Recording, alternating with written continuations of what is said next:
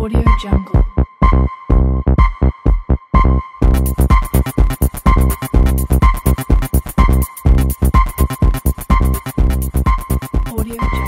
Entenda sobre essa nova regra de aposentadoria com o Dr. José Geraldo, aqui na TV Ibirité. É, em relação à questão da aposentadoria, primeiro a gente tem que entender como que a aposentadoria funcionava, como que ela era concedida até a presente data. Né? A partir de 1998, houve uma grande mudança na, na Previdência e a principal regra da aposentadoria por idade até o presente momento era que todo contribuinte ou todo eh, beneficiário da aposentadoria, né, assegurado da, da aposentadoria, ele teria que ter contribuído no mínimo 15 anos, trabalhado 15 anos, contribuído esse período, e para a mulher teria que ter no mínimo 60 anos de idade e o homem 65 anos de idade. Então a regra básica é essa. E para que ele conseguisse 100% do benefício, do salário benefício, ele teria que ter, além desse mínimo de idade, o mínimo de contribuição de 30 anos para a mulher e 35 anos para o homem. Então, se ele não tiver esses dois fatores, idade e tempo de contribuição, ele não iria conseguir aposentar com 100% do salário benefício. Lembrando que o cálculo do salário-benefício é um cálculo meio complexo, que é nada mais nada menos que uma média do- das 80 maiores, 80 maiores por cento, né, ou 80% maiores contribuições durante toda a vida do, do trabalhador. E essa média vai gerar um salário-benefício. Esse salário-benefício, então, é que vai ser é, o benefício propriamente dito. Se a pessoa tem, no caso do homem, 65 anos de idade e 35 anos de contribuição, ele vai receber 100% desse benefício. No caso da mulher, 60 anos de idade, 30 anos de contribuição, ela também iria receber 100% desse benefício. Por que, que a mulher ela tem um, certo privilégio em relação à idade e ao tempo? Porque é mais que justo que a mulher, todo mundo sabe, que tem uma jornada dupla de trabalho. Né? Trabalha fora e trabalha em casa. Então, o legislador previdenciário, quando ele criou essa lei, ele olhou essa desigualdade também e fez essa diferença de tempo e idade. Né? Quando a pessoa não tem nenhum nem outro, ou seja, não tem a idade mínima nem a contribuição mínima, ela cai no chamado fator previdenciário. O fator previdenciário foi criado pelo governo para que desestimulasse as pessoas a se aposentarem muito jovens. Então, antigamente, antes do fator previdenciário, as pessoas cons conseguiriam aposentar com 50 anos, 55 anos, 45 anos, e iriam viver muitos anos recebendo essa aposentadoria. Isso para os cofres da Previdência seria um desastre. Né? Mesmo porque a gente está observando que as pessoas estão ficando cada vez mais velhas, os casais estão tendo cada vez menos filhos, ou seja, a população adulta ela produ- produtiva está né, diminuindo e quem paga o salário dos aposentados é a população que está trabalhando. Então, se você aumenta demais a quantidade de idosos aposentados e diminui a quantidade de trabalhadores, essa conta não vai fechar, como já não está fechando. Né? Então, o fator prudenciário nada mais é do que isso. É uma tentativa de desestimular as pessoas a se aposentarem cedo, obrigando-as a ter o mínimo de idade e o mínimo de tempo de contribuição. Então, pegando fator, a tabela do fator previdenciário, lembrando que essa tabela ela sofre atualização toda vez que o IBGE libera a expectativa de vida do brasileiro. Então, toda vez que há um censo, ele libera essa expectativa de vida e normalmente ela é maior a cada censo. Consequentemente, esse índice ele também sofre alteração. Vou pegar um pequeno exemplo aqui. Vou imaginar que a pessoa trabalhou, conforme a tabela, 35 anos, é, contribuiu durante 35 anos, e tem apenas 54 anos de idade.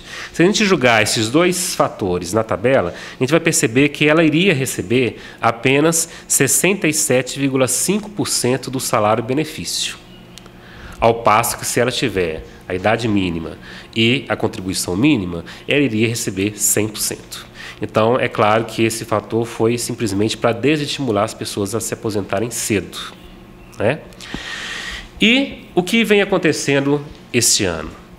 Esse ano, o governo editou uma medida provisória, né? E essa medida provisória é para fazer um, um, uma reorganização, um ajuste das contas do governo. E o principal rombo das contas do governo é a Previdência. Tanto é que essa medida provisória afetou mais a Previdência.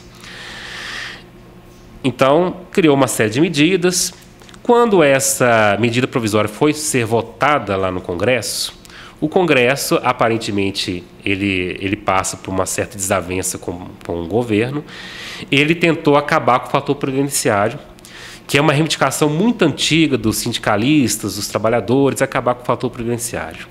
Ele tentou acabar com o fator criando um novo fator, que eles deram o nome de 85 e 95. O que, que isso significa? Significa que, para a mulher, se ela conseguir somar o tempo de contribuição e a idade e der 85, ela vai conseguir se aposentar com 100% do salário e benefício.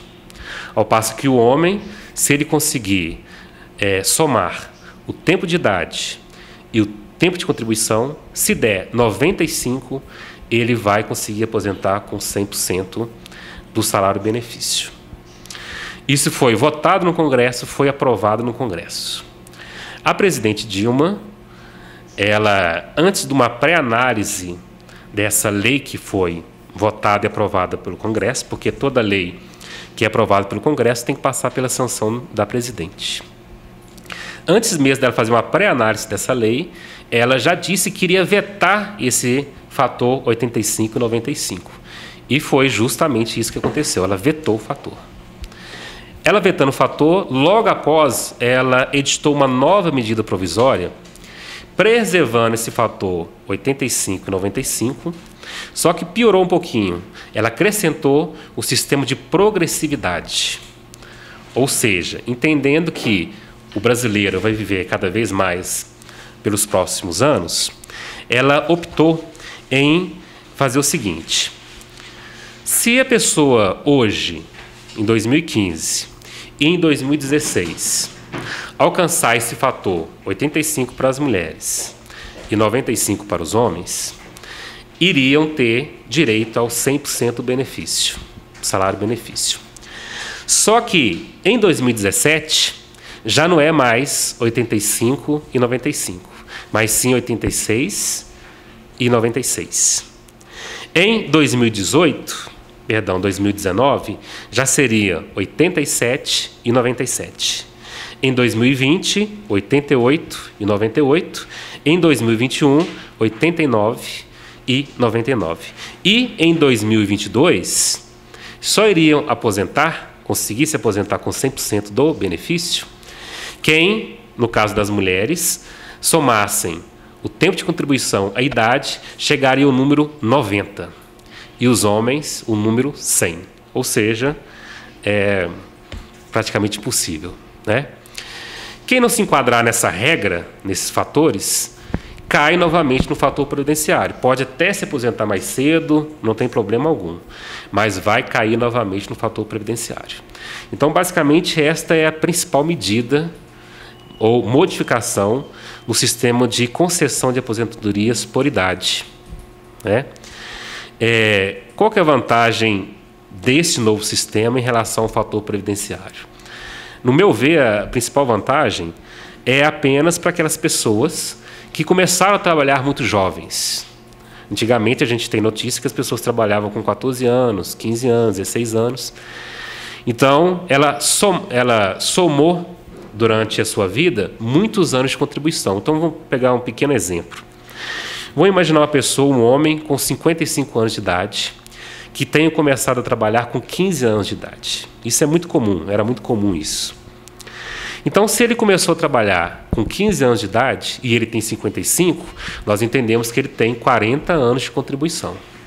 Somados 40 anos de contribuição, mais os 55 anos de idade, ele teria então 95 anos, ou 95 pontos. Né? É assim que eles estão chamando, 95 pontos.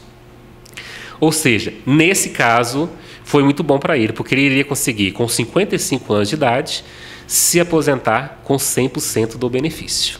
Então veja bem, isso é muito interessante para as pessoas que têm muitos anos de contribuição. Hoje em dia não é tão comum, mas até poucas décadas atrás era muito comum. Então essa é a principal diferença. Agora, com esse sistema de progressividade, essa diferença entre o fator previdenciário e o fator 85 e 95, no meu ver, não teve muita alteração não.